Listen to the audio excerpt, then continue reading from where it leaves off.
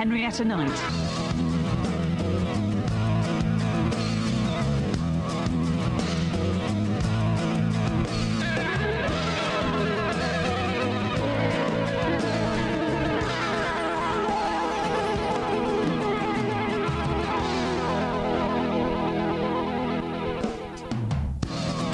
Race Country, I'm off to meet Henrietta Knight, trainer of the legendary Best Mate.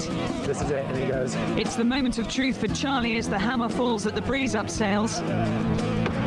And we're up on the gallops with former England footballer and racehorse trainer Mick Channon. Good afternoon and welcome to Race Country. This is the peaceful setting of the Blowing Stone pub, about five miles from Lambourn, which is run by the former jump jockey Luke Harvey.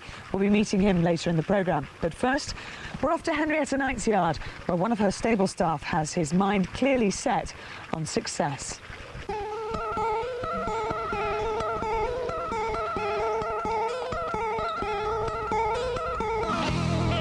Miles north of Lambourn is the West Lockinge yard, where Henrietta's stable staff are busy with their evening chores.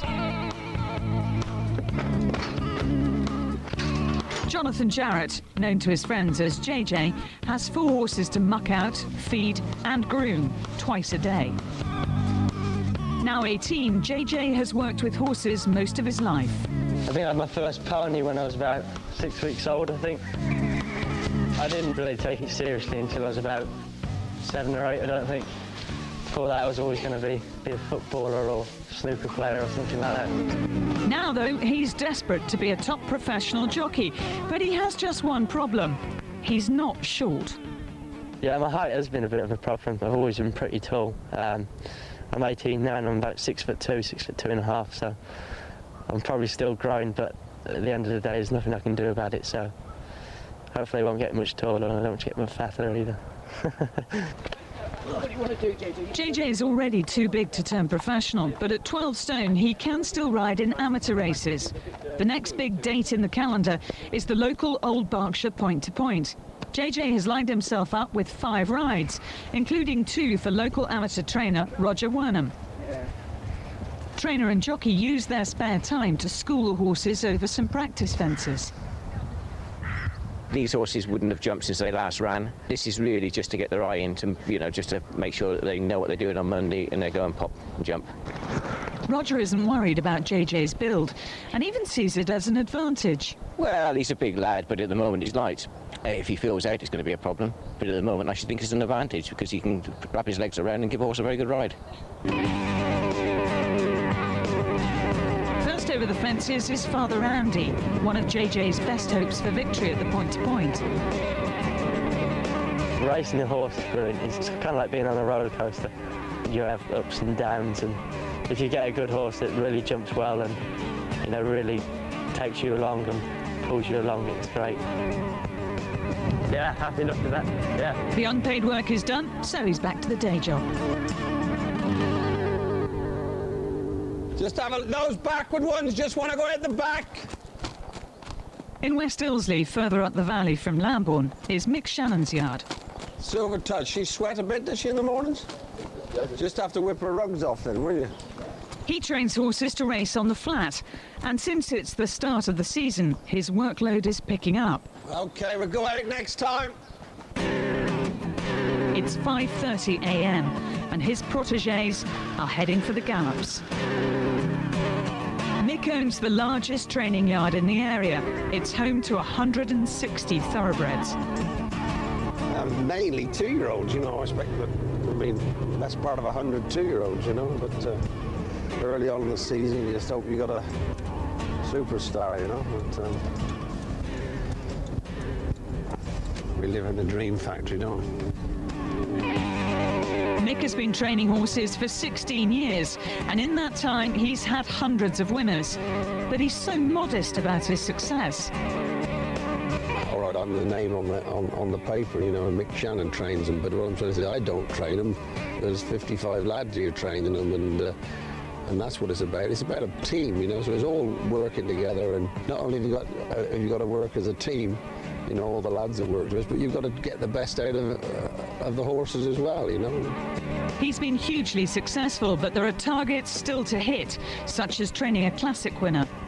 I think that that's what we're all looking for. You know, we all got this belief that we can find that absolute gem, which is. Uh, which is probably the best racehorse in the world, you know, and uh, it just drives you on. It gets you up in the morning. It gets you, you know, why do we get up at sort of, you know, four, five, six o'clock in the morning through the summer? Because we're, you know, it's it's exciting. You know, you don't know. You wake up in the morning, and who knows? You might all of a sudden have an absolute superstar on your hand. So the question is always there for him. Could there be a superstar in the making on the gallops this morning? That Vic Keen? She's not lame though, is she? And if there is, he should recognise it. Mick is no stranger to stardom himself. In the 70s, he was a top professional footballer. Well, the unpredictability of, of training horses is very similar to football. You know, how did, you know, how did Man United lose to, to Norwich, who, who are bottom of the league and they're top of the league almost? But uh, you know, and, and, and where does a good racehorse come from? Nobody knows, and it's. I mean, I think it's that that mystique, that little bit of magic. I was fortunate that my footballing career was great fun and, and, winning the FA Cup was probably one of the high moments of it. I mean, playing for England and captaining your country was another great honour, which, uh, you know, I was fortunate enough to do. But um, one day when, the, you know, nobody wanted Mick Channon to play football, the, and the phone wasn't ringing, you know, for anything else, I thought, well, I better get off my ass and do something. So I started training a few horses. I must have been so naive, I can't believe it. But anyway, we started and you know, here we are 15 years down the line, you know, in probably one of the most famous racing yards in the country for sure. Um, and um, we're still seeking that elusive classic winner, and let's hope in the next few years we find it. Trot them on!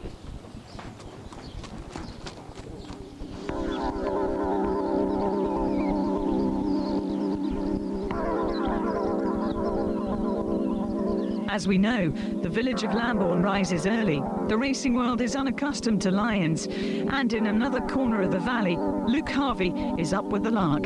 He's the racing tipster for BBC Radio's 5 Live. I normally get up about sort of half past five, drive to Lambourn, get the papers, go through, you know, the, the daily papers and also, of course, the Racing Post. So I get all the up-to-date going. It's terribly important with horses. Some horses like fast ground, some horses like soft ground. And uh, so it's a key thing. So although it sounds terribly boring, if you're not interested in horses, it, it, it is very significant. I used to have to go into London. Well, I used to get up at sort of 20 to 4 every day, drive into a broadcasting house and actually do my bulletins from there. But um, luckily, I've now got my actually my um, ISDN kit. It, it's absolutely ideal because I can get the up-to-date information from all the stables in the local area and, um, and then broadcast it literally as I hear it. Live news, live sport. This is BBC Radio 5 Live.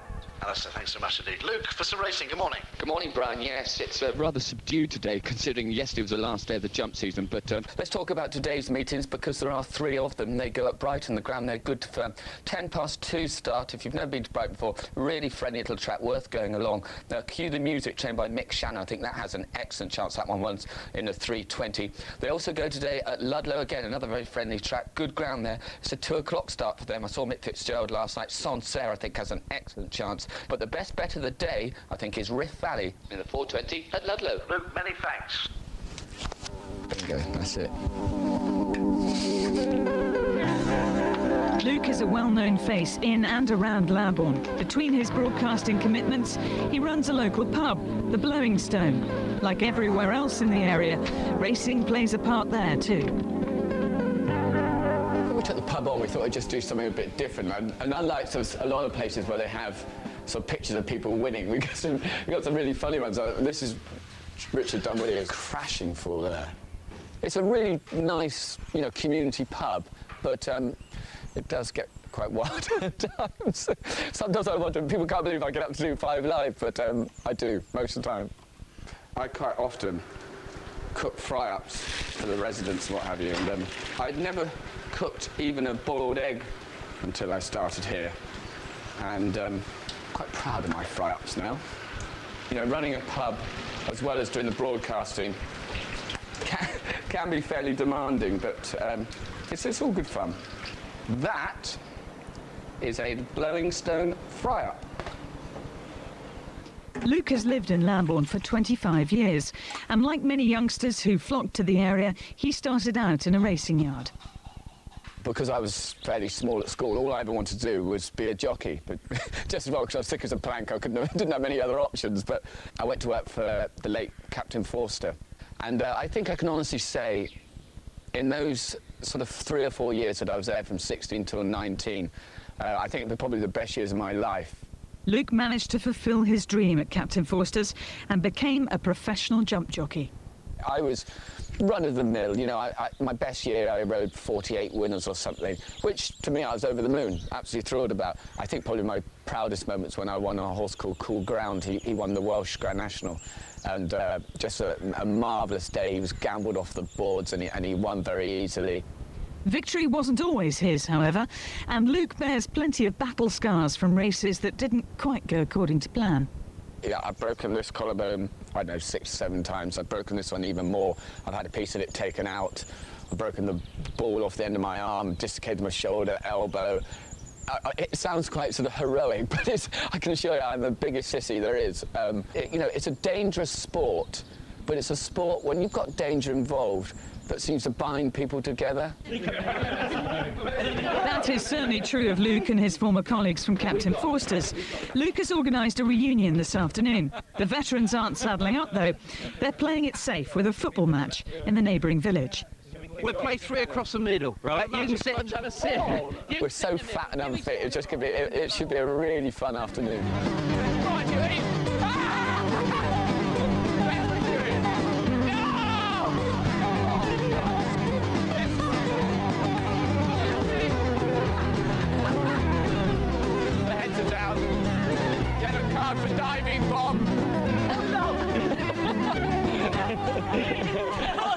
Next goal, the winner. Oh, that's not. That was stop! After all that exertion, it's back to the blowing stone for some refreshments and post-match analysis. There was a real good laugh, but total embarrassment. I don't know. I think it, I don't think it helps having 15 people on the, in the second half. I think we played better when we had the right number. But great to see all the boys again. Just such a such a laugh. Already, just some of the stories that they're coming out with about when we were there.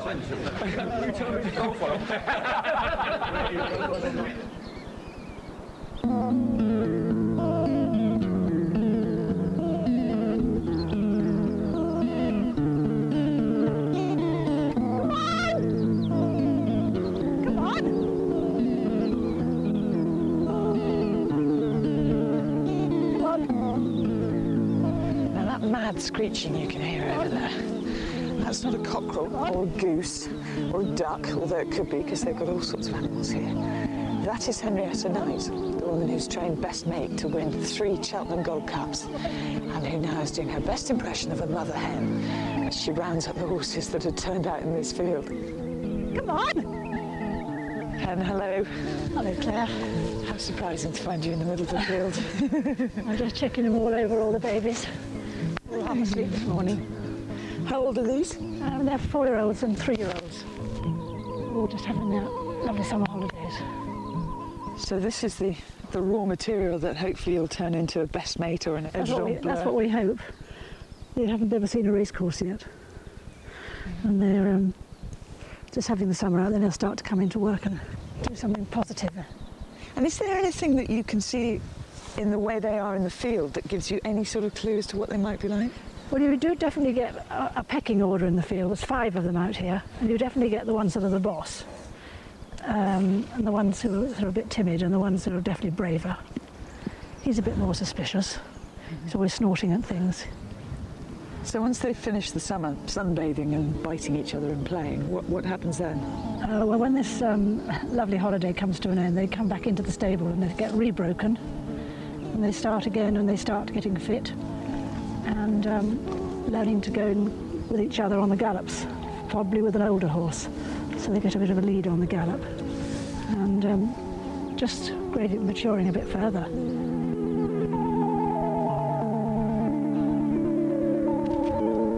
But it's not all relaxation at West Lockinge Farm.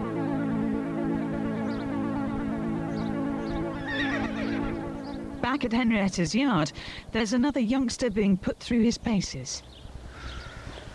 This is um, a young horse we've got doing a bit of, well, some people would call it dressage. We just call it sort of suppling up flat work to sort of build up more muscles in their back lines and get them obedient and twist and turn and sort of gymnastic exercises really. So, g- given that most trainers just concentrate on making a horse go as fast as possible and jump as fast as possible, are you here trying to find an edge by doing something a bit different? Well, we, I sort of believe, because I came more from an eventing background, that the horse to be really fit and be able to jump well, and jumping is the name of the game in national hunt racing, it's got to have all its muscles developed right and be able to uh, be very supple and athletic. She's working him down with his head and bending and really developing the muscles along his back. Yeah, you can see him just start to stretch down there with his head rather than coming up. This is a pioneering approach to schooling a racehorse, but one that clearly works. Henrietta, along with her husband, ex-jockey Terry Biddlecombe, have trained nearly 600 winners. Among them, of course, Best Mate. Because we've done quite a lot of this work with Best Mate over the years, apparently in a couple of places in Ireland, they've started, in Ireland of all places, they've started um, some dressage clinics for racehorses. Oh, brilliant. Somebody's cashed in on the idea. It takes hours and hours of hard work to train a young horse to compete with the big boys when it's old enough. There's another schooling ring at West Lockinge which also sees a lot of action, as this is where Henrietta gives her potential national hunt racehorses their first taste of jumping. Now they're bringing a horse up here today who's never jumped before, never seen anything like it. So consequently, just putting the poles down so they're nice and low, but still give him something to take him off the ground. And can you tell pretty quickly whether they are natural jumpers? Yes, we can. Some just take to it like ducks to water. We lead them over the first over the pole the first time, and so they get used to following the, the person leading them, and then, then, then we send them round loose.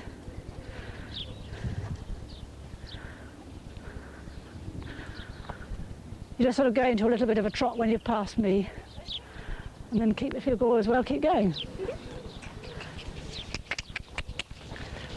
Come. Good okay, boy. that was very easy. Yeah. And he hasn't jumped ever, this horse. Good boy. Okay, okay, Vicky, you can loose him off. I don't think he's going to be frightened of anything. Go on, big horse. It's amazing how fast they go when they're allowed to go their own speed. Get down the other end. Go on. Oh, whack that. Not very clever, that wasn't. Because he's such a big horse, we're going to put the jump bigger. Because otherwise he hardly notices it, and then he's going to get into bad habits just galloping through it. But just to sort of make him concentrate more. Yeah. It won't really help- matter if he does knock it a bit. You might make him pick his feet up a bit better. Because he's so big, he makes the jump look so small. They don't want what down on yours. And can you see them start to teach themselves? Yes, I mean, you could see a few of the mistakes he was making there, and he did jump one off all fours, and then he, the next time round he, he measured it. Ooh, gosh, he does think this is easy. Good boy.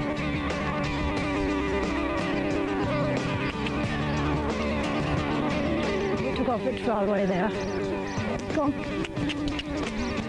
That's the trot. Did he make a nice Good boy. there? If he jumps this one nice, that'll be enough for him today. Yeah. Poor boy. He, he was a model pupil because they aren't usually as quick to learn the first time up here. So for a first ever experience of jumping, how many marks out of 10 would you give him? I'd say you get eight and a half for that one. It's pretty well, pretty good. I mean, nearly as good as we've had up here. And that is praise indeed from one of the country's most successful jumping trainers. Could we have another best mate on our hands?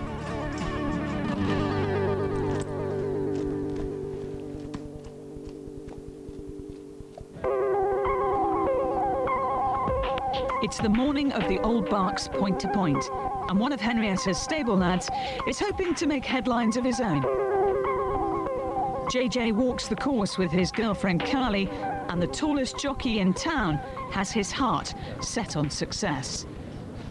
Basically, just seeing seeing what the course is like, see what the ground's like, see where I've got to go, what I've got to jump. I'd want to be well making a move by this point. So we've got go around this bend, next bend, and it's pretty much a run down the home straight there to the finish. So, JJ is competing in five races. Each of them is three miles long with 18 fences. And the first one is about to start. There are a few last minute instructions from Roger, the horse's trainer. If they go mad, JJ, ride a race the first circuit, but then see if you get his jumping working second lot. I think it's your only chance, you know. He's on. Horse looks well. Let's just hope for the best.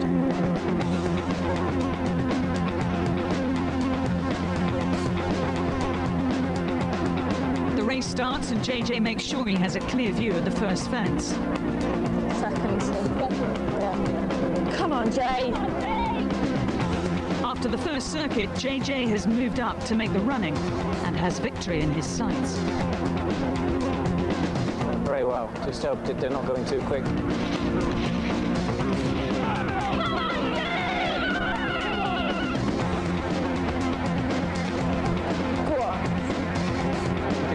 On. This is where they start putting the pressure on now. There's only one fence to jump, but the horses disappear from the spectator's view. So all Carly and Roger can do is wait to see where JJ emerges at the final bend. Come on. No. No, he's dropped out of it. There's no sign of horse or jockey as the leaders head towards the finish. JJ has pulled up after hearing Father Andy struggle with his breathing. um, just in that dip there, he's, he's stopped and pulled up and he's gargled. And if that wasn't enough, there's disappointment for JJ in the next three races too. If he's going to catch the eye of the many trainers here and prove himself as a serious contender on the amateur circuit, he needs to shine in his last race. However, girlfriend Carly has doubts about Jules' son, the horse he's chosen to ride. Yeah.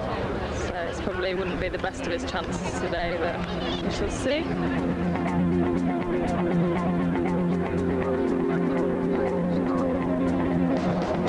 JJ gets a solid start and is not far off the leaders on the inside.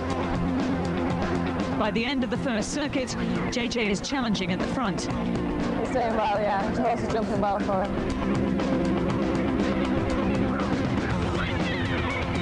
He's got, he's got half a circuit to go now.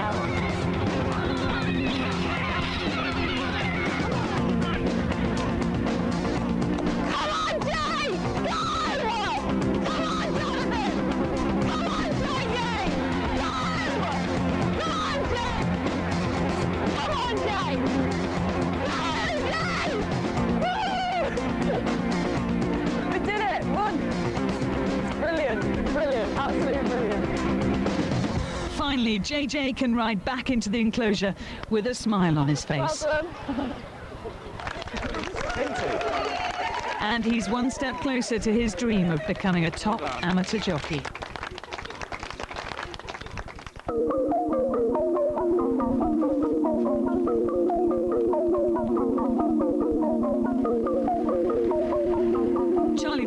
The manager of Kingwood Stud, has been in Newmarket for two days attending the Tattersalls annual Breeze Up sales. Go for a jockey.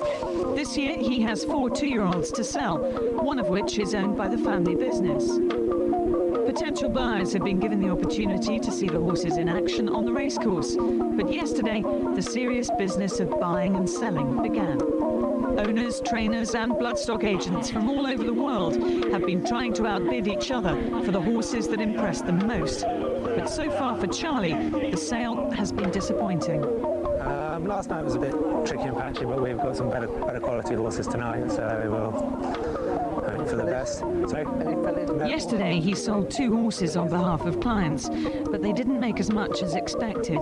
the horses that sold last night were a little bit disappointing. They didn't breeze as fast as some horses have breezed, and subsequently they didn't make as high prices as other horse as some of the other horses in the sale. Tonight, he's hoping for a reversal of fortunes. One of the two remaining horses to go under the hammer is the Mr. Bailey's colt, owned by Kingwood Stud itself.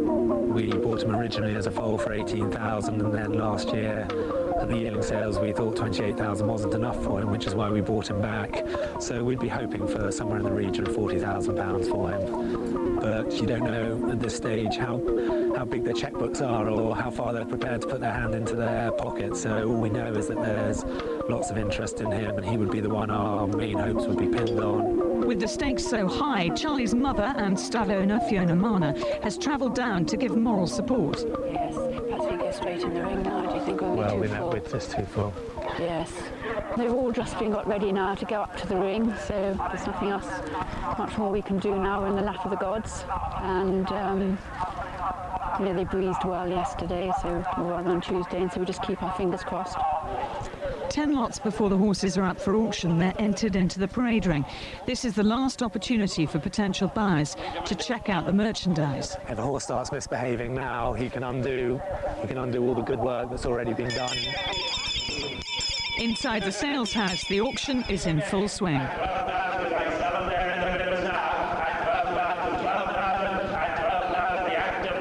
In horse sales, bids are traditionally made in guineas, each being worth one pound and five pence, and the extra five p's make up the 5% commission of the auction house. Back in the parade ring, the Mr. Bailey's colt has behaved impeccably, and his moment of truth has arrived. So this is it, and he goes. Thanks. 163 now, horse in training inside by Kingwood Stud. A real smashing colt this. Half brother to a winner, but he's a cracker. Lovely, lovely horse. What'll you bid me for him? There's no reserve, you know he goes. At 28 bid again now, 20 at 30,000 now, 32, 32 bid. At 30 Having bought the horse for £18,000, Charlie and Fiona were hoping to make around 40000 in tonight's auction. 40,000, where are we now? At 42, 42 bid. At 42, 45, 45 now. At 40. The price is already above what they had hoped for, and it's still rising. At 75 now, at 75, 80,000, 80,000 now, at 90,000 bid again last time at 90,000. Mr. Yoshida, 90,000 buys and thank you. Excellent result.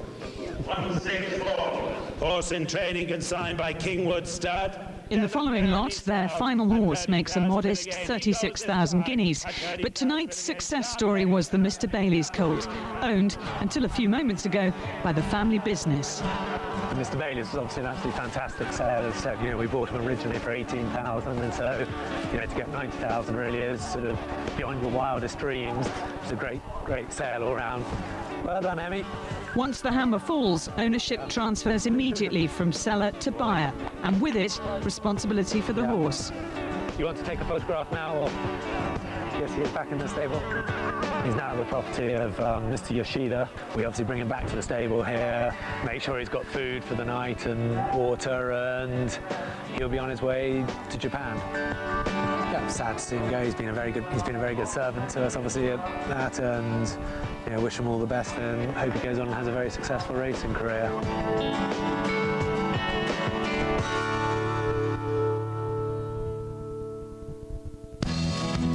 On the next race country, I'll be taking a walk down memory lane with Lambourn's octogenarian stable lad. And it's drinks all round to toast another new arrival at Kingwood Stud.